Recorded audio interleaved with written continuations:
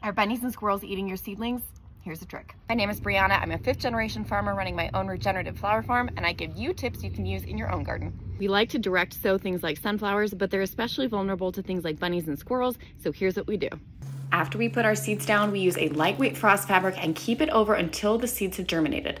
We use a lightweight frost fabric so the plants are still able to grow through it, and we leave it on until the plants are big enough to withstand damage.